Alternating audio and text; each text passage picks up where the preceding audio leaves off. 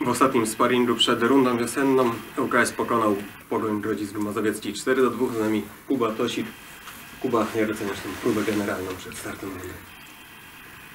No tak, na początku chyba e, wydaje mi się, że nie spodziewaliśmy się, że takiego obrotu sprawy, że będziemy dzisiaj przegrywać, tak? Wiadomo, że Pogoń też e, gra w drugiej lidze, broń Boże nie zlekceważyliśmy przeciwnika, ale e, gdzieś na samym początku nie układało się tak po naszej myśli i mówię, dostaliśmy dzwonek pierwszy na 1-1, dostaliśmy zaraz ten 2-1 i wydaje mi się, że e, prawidłowa reakcja całego zespołu, tak? E, bardzo szybko odrobione Em, Druga bramka na 2-2, zaraz na 3-2 i wydaje mi się, że ten mecz był bardziej pod naszą kontrolą, aczkolwiek Pogoń też miała swoje sytuacje.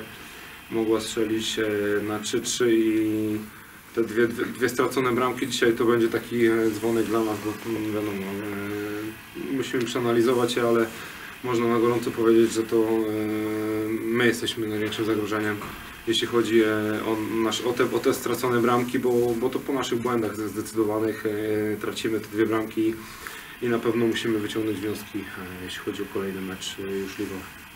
Poprosimy o pytania. A jak przed ligą się czujecie? I Drużyna już jest w 100% gotowa do tego, żeby, żeby walczyć o ekstraklasę?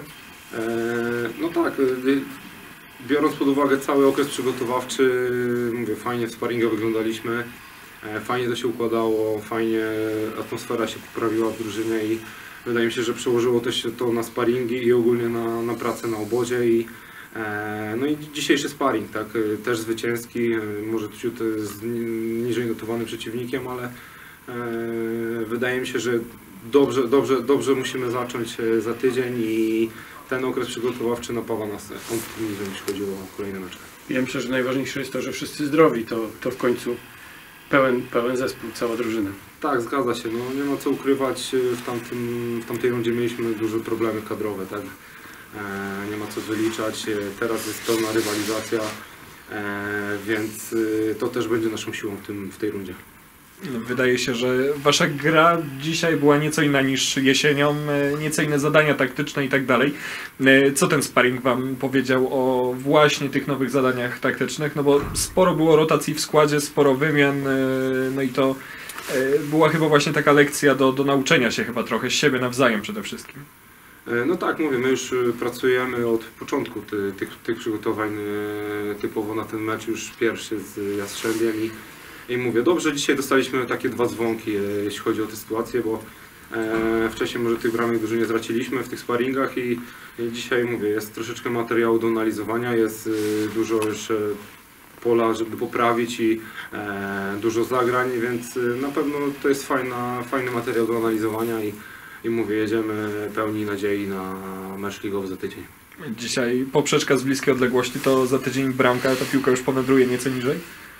No oby, oby, tak. Mówię, dla mnie jest najważniejszy cel, jeśli chodzi o drużynę, tak. Drużyna jest najważniejsza i czy to ja będę strzelał, czy to będzie strzelał e, ktoś inny, e, mówię, to jest e, mniej ważne, najważniejsze są za tydzień trzy punkty i, i typ, typowo się na tym skupiamy. A jak się grało na tym stadionie, on już w, w zasadzie przypomina ten już docelowy stadion. No jest, jest, jest różnica.